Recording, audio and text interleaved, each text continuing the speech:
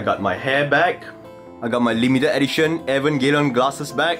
If I tell y'all that my life's good, can y'all even believe it? After three years, I'm finally going to Japan.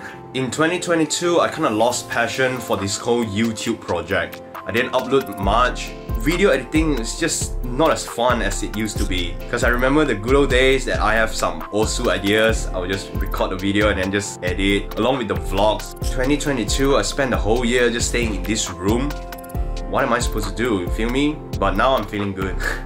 now I'm feeling good. I have a really good feeling about this trip. And the reason I say trip is because I'm only be staying in Japan for about one month. January 10 all the way until 4th of February. However, even though this is just a short period, I'm gonna be performing for the first time in Tokyo on the 21st and the 22nd of January. If you guys are interested, if you guys are in Tokyo by any chance, please come and visit me.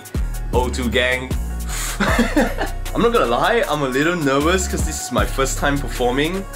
But hey, just like a Chinese idiom says, 船到桥头自然直. You will cross the bridge when you get to it. Everything is gonna fall into the place at the end. Maybe sometimes you just need to step out from the comfort zone. Let me ask you guys a question. Think about it. Seriously. If I never uploaded Fantasy World, what do you think is gonna happen to me?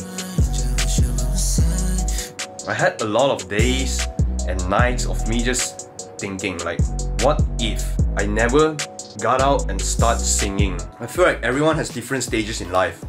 For me, I kind of lost the glory days of the Osu, of the Japan vlog days.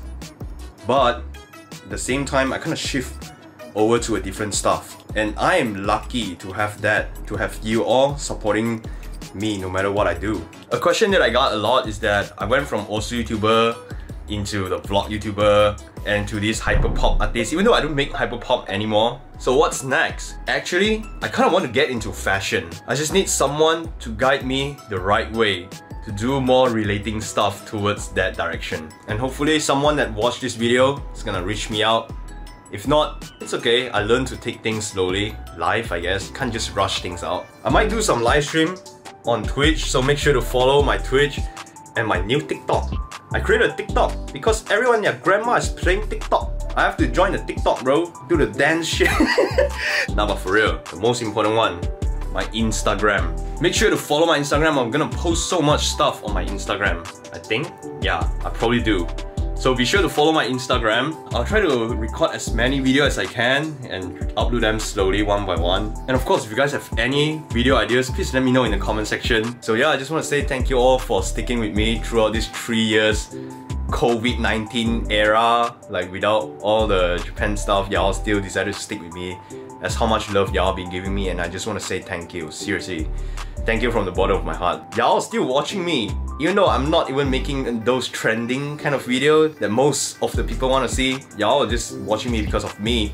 And that just means a lot, like, I don't know man, I just feel so happy every time I think about it. Hope to see you guys in the next video. I'm not sure when I'll see Pochita again. February, yeah. I'm gonna see Pochita in February. See you guys in the next video. I did not record. I did not record. Bro, do Don't have much.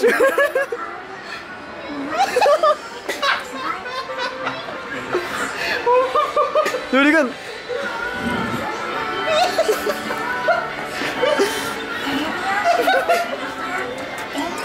okay, I'm done.